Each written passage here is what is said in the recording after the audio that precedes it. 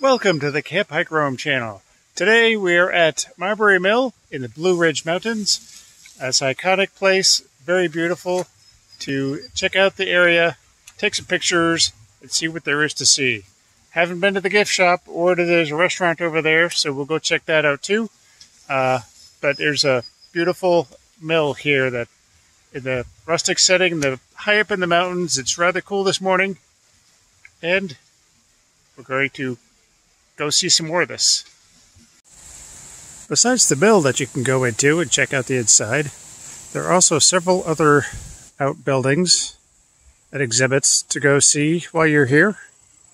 Uh, a, their homestead there under the trees. Uh, there's a blacksmith's shop over there and further things to see. Uh, while you're here, check out the gift shop and restaurant. The food at the restaurant is really good. And the gift shop has your typical gift shoppy things.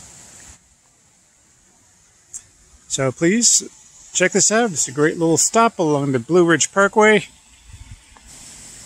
And it's nice to be here. Thank you for watching my video all the way through the fabulous Mabry Mill along the Blue Ridge Parkway.